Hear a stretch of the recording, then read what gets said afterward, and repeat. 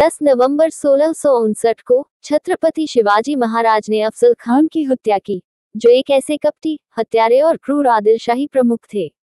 आइए देखते हैं कि यह अफजल खान कौन था और उसका व्यक्तित्व क्या था। अफजल खान, जो एक पहाड़ की तरह दिखता है, मूल रूप से भटारानी का बेटा था, जिसे अब्दुल भटारी के नाम से भी जाना जाता है।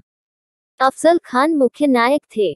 कर्नाटक में रणदुल्ला खान के नेतृत्व में हुए इस अभियान में उन्होंने श्रीर, पटना, करनापुरम, मदुरा, कांची और बेदनूर की मंडली को हराया था। रणदुल्ला खान के एक पत्र में कहा गया है कि अफजल खान की अनुमति अफजल खान की है।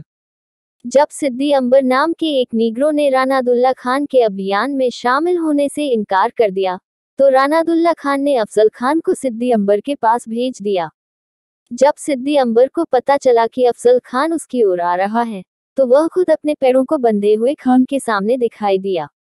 एक अभियान में अफजल खान ने खुद औरंगज़ेब को पकड़ने की कोशिश की, लेकिन खान मोहम्मद द्वारा रोक दिया गया था। अफसल खान उतना ही विश्वासघाती था जितना वह पराक्रमी था। अफसल खान के एक पत्र ने उनकी सजा को दर्ज किया, जिसमें कहा गया कि उन्हें पीटा जाना चाहिए और प्रताड़ित किया जाना चाहिए। एक शिलालेख में अफसल खान खुद को धर्म का सेवक, मूर्तियों का विध्वंसक और काफिरों को नष्ट करने वाला बताता है।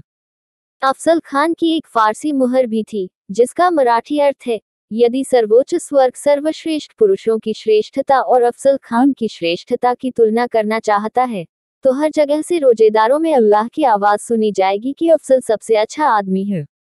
उपरोक्त अभिलेखों से हम आदिल शाही सरदार अफसल खान के समग्र व्यक्तित्व का सटीक अंदाज़ा लगा सकते हैं। अफसल खान उतना ही क्रूर, कपटी, कट्टर है, जितना बहादुर है।